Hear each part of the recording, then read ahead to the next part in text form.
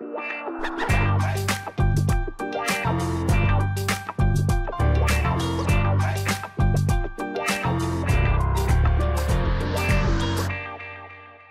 o pár dní sa uskutoční akcia Dúhový Pride 2023. 13. ročník, ktorý prebehne na námestí Slobody v Bratislave, nám prišiel predstaviť Martin Macko, riaditeľ iniciatívy Inakosť a spoluorganizátor akcie Dúhový Pride. Vítajte, Martin. Dobrý deň zhruba takto pred rokom som sa zhováral s vašou kolegyňou Jankou Mičekovou, ktorá takisto sa podiela na organizácii Dúhového Prideu a za ten rok sa toho veľa udialo. Takže a, moja otázka, asi tá prvá, smeruje na to, a, ako si stojí dnes v roku 2023 queer komunita na Slovensku. Takže ale tou najzasadnejšou udalosťou minulého roka bol o, vlastne teroristický útok pred podnikom Tepláreň, kde zomreli vlastne dvaja členovia komunity, Matúš a Juraj a bola zranená Radka. A toto zásadným spôsobom ovplyvnilo, ako jednak samotná komunita vníma tú bezpečnosť alebo kvalitu života na Slovensku, ale aj to, ako, ako je Slovensko vnímané celkovo v Európe v rámci týchto tém. Takže nedá sa hovoriť o tom roku bez toho, aby sme vynechali túto zásadnú situáciu. Stále sa s ňou vyrovnávame. Stále akým, nejakým spôsobom snažíme prekonať tie dopady, ktoré to malo a, a určite to zásadným spôsobom ovplyvní aj naše podujatie tohto ročné. A, o, či sa zmenila no, ako keby k lepšiemu, že sa nám podarilo nejak transformovať to zlé, čo sa udialo na niečo dobré, tak um, to je samozrejme otázka. Z nejakého takého pozorovania z povrchu mm-hmm. by sa zdalo, že, že sa ako keby nič nezmenilo, lebo neprišla žiadna zmena legislatívy, politici neprišli s nejakými pozitívnymi opatreniami, ktoré by tu zmenili situáciu. Ale zároveň vidíme veľkú, veľkú vlnu solidaritu, ktorá nastala po, po tom teroristickom útoku zo strany teda tej majority. Vytvorili sa rôzne iniciatívy, ktoré by predtým neboli možné. Napríklad, Môžeme si ich napríklad aj pomenovať? Napríklad Ide nám o život, čo bolo, stále je teda zo skupenie, vyše stovky rôznych organizácií, ale aj firiem jednotlivcov, ktoré prišlo jednak so spoločnými cieľmi, ako zmeniť tú situáciu pre LGBT ľudí na Slovensku, ale aj s rôznymi aktivitami, ktoré sa snažili vytvoriť bezpečné prostredie, napríklad v prostredí firiem, teda na pracoviskách a podobne. Veľké podujatia alebo iniciatívy vznikli aj v tej kultúrnej oblasti. Je to určite Slovenská tepláreň, čo bol vlastne aj najväčšia séria mm, koncertov alebo všeobecne kultúrnych podujatí e, v histórii Slovenskej republiky. A vieme, že ešte má byť druhé kolo práve v septembri tohto roku. A, takže z toho hľadiska, okrem tej politickej oblasti, ako keby nastal ten posun všade inde. A, v tej politickej oblasti je to tiež o tom, že s čím sa porovnávame, lebo my sme očakávali tú, tú situáciu ešte horšiu, pretože je jasné, že v tomto parlamente je väčšina, ktorá je ktorá chce ako keby obmedzovať práva LGBT ľudí, čiže nie robiť nejaké pozitívne kroky, ale skôr presný opak. A, a teda aj moje očakávanie bolo, že pre, pred voľbami sa príjmu nejaké zákony, ktoré budú obmedzovať či už napríklad tie tzv propagáciu homosexuality na školách alebo podobné veci. Čiže niečo podobné a, ako je napríklad v Orbánovskom Maďarsku alebo... Bolo, bolo viac už takých návrhov a my sme sa obávali, že to teda pred voľbami prejde, ale možno aj vďaka tomuto, čo sa udialo a tej, tej vlne solidarity zo strany väčšinou spoločnosti sa to nepodarilo. Takže dá sa tam vidieť aj takýto úspech po tak hrozivom čine, ako bola vražda z nenávisti v teplárni, kde vlastne strelec zastrelil dvoch ľudí, Juraja a Matúša, tie dopady na komunitu sú určite zjavné. Vy pracujete aj ako riaditeľ iniciatívy Inakosť, ktorá poskytuje, myslím, že právne poradenstvo. Takisto predpokladám, že spolupracujete so psychológmi. Zaznamenali ste napríklad zvýšený dopad ľudí, ktorí odrazu dostali strach, báli sa, že, že čo ich tu čaká nasledujúce mesiace a ako sa tá situácia vyvinula za tých posledných 9 mesiacov od, od tohto činu?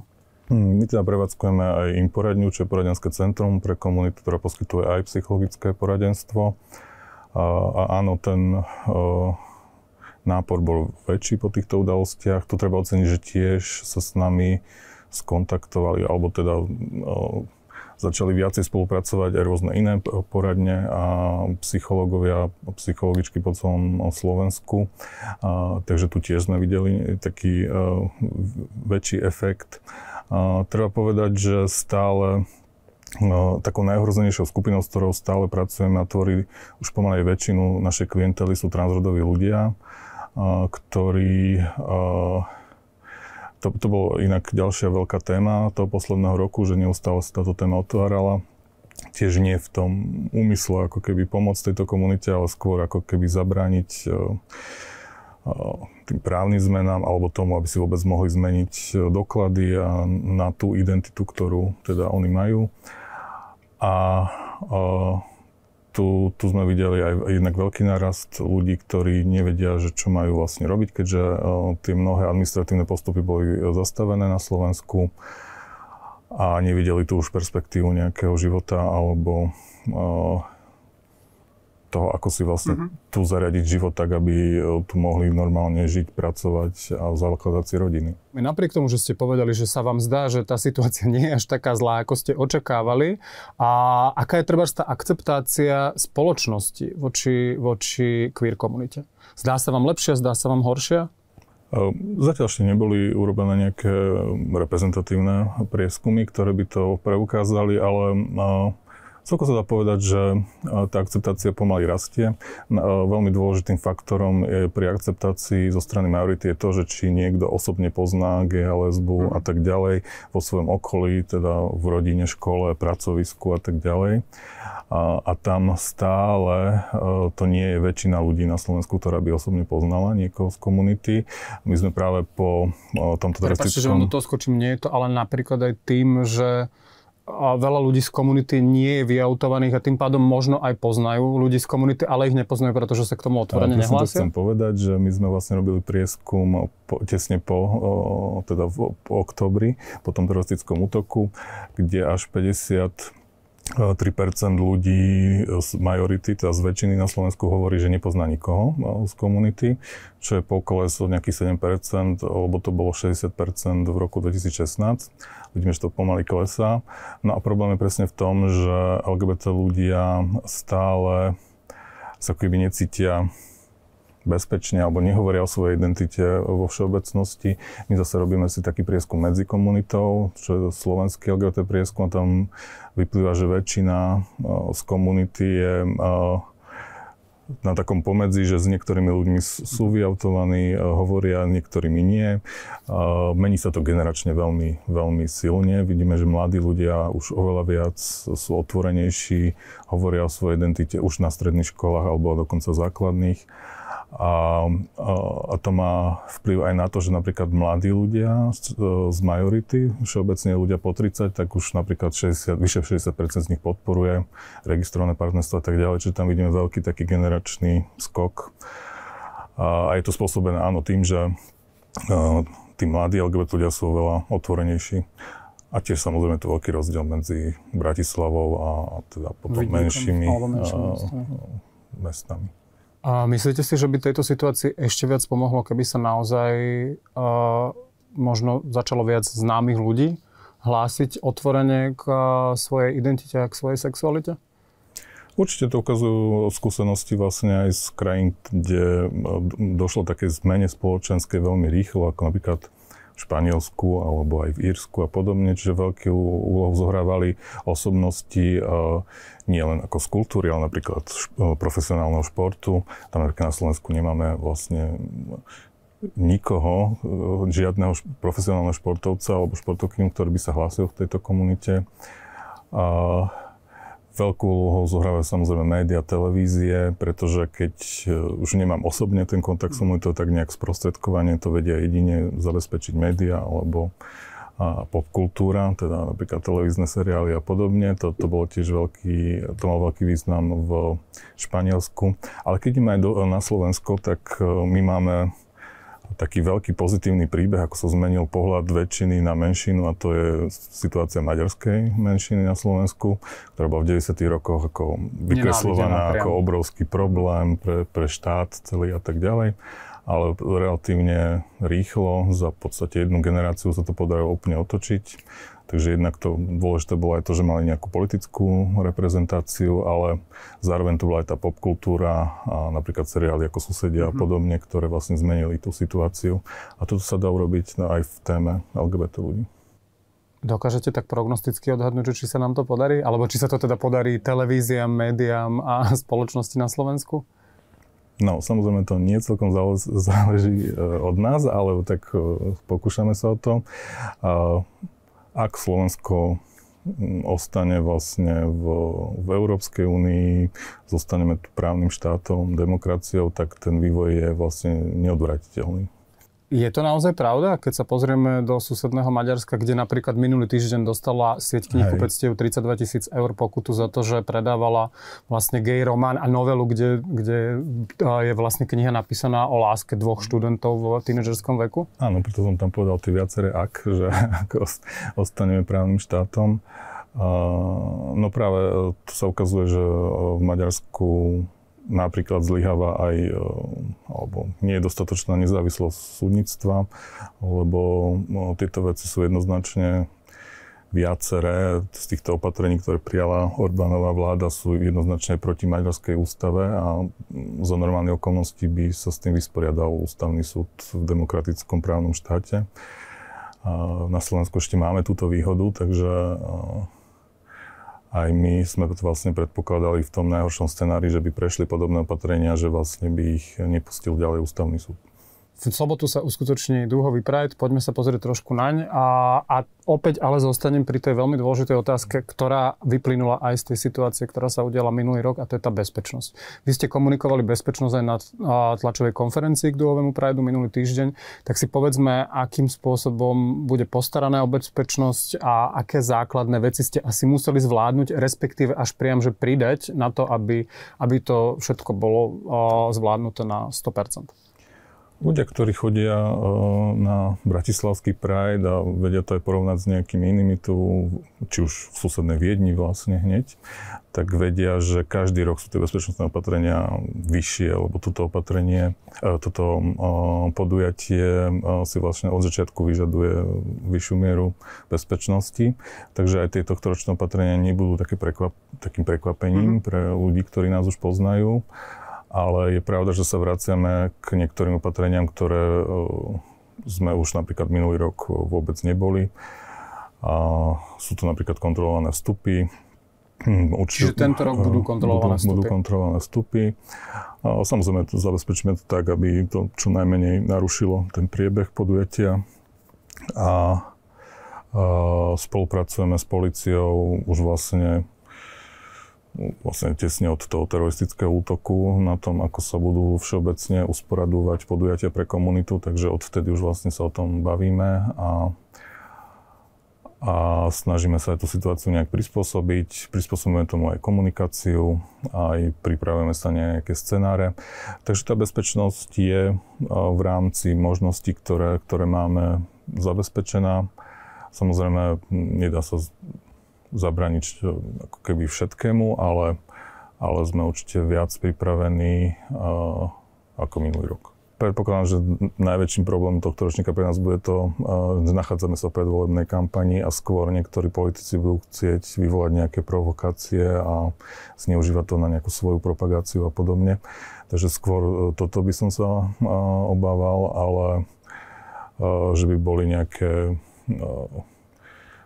nazvime to masové alebo už vôbec násilné protesty voči nášmu podujatiu, tak to už, e, to už teda neočakávam. Ja tiež dúfam to, že také niečo podobné sa nestane.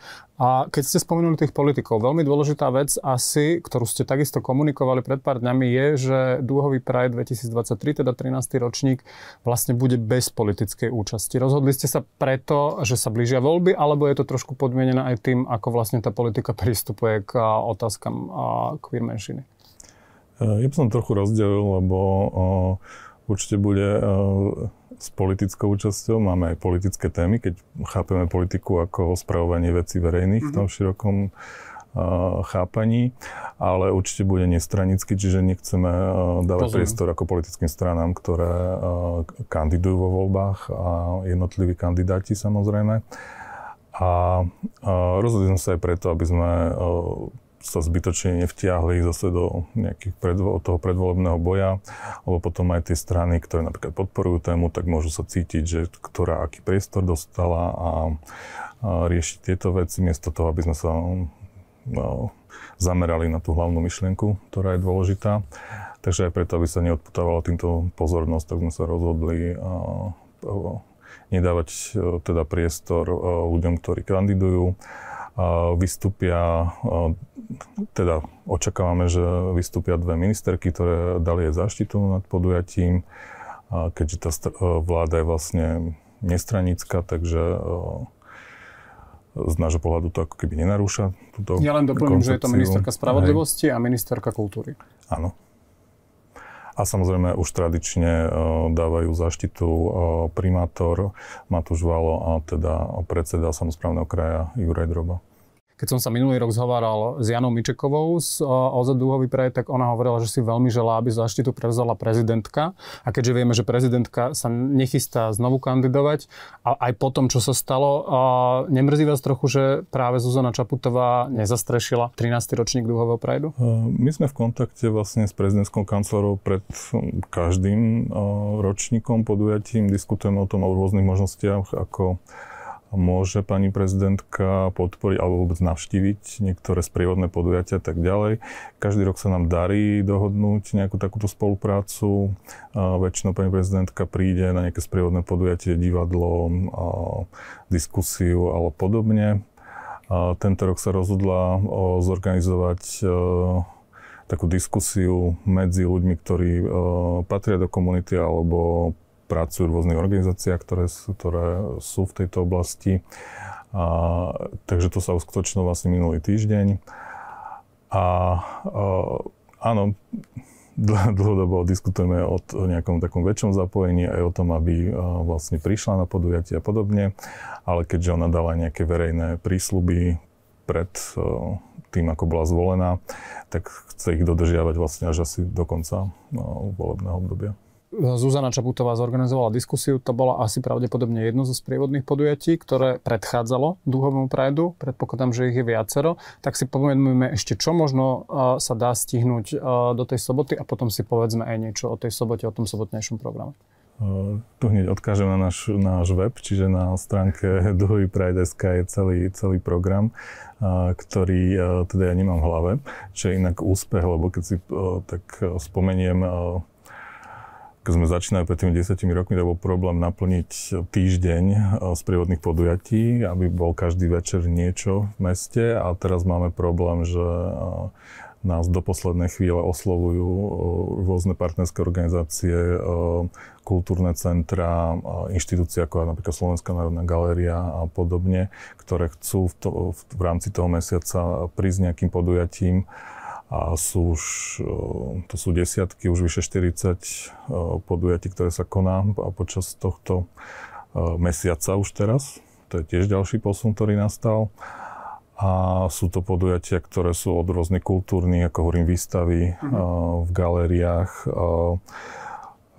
koncerty samozrejme, divadelné predstavenia, rôzne diskusie, ktoré sa odohrávajú o týchto témach predstavenia kníh napríklad aj a podobne.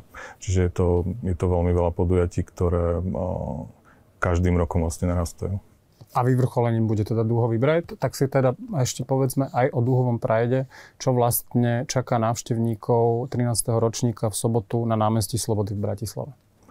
Uh, no, prvá nová vec je, že sme vlastne na námestí Slobody. Uh, po rokoch sa vlastne prechádzame z Hviezdoslavovho námestia, ktoré nám už teda nevyhovovalo a námestie Slobody nám poskytuje ten priestor pre viacero aktivít, viacero hm, napríklad aj bude tam, budú tam stánky rôznych mimovládnych organizácií alebo iniciatív, ktoré nielen robia niečo z, akože s LGBT komunitou, ale v rôznych témach.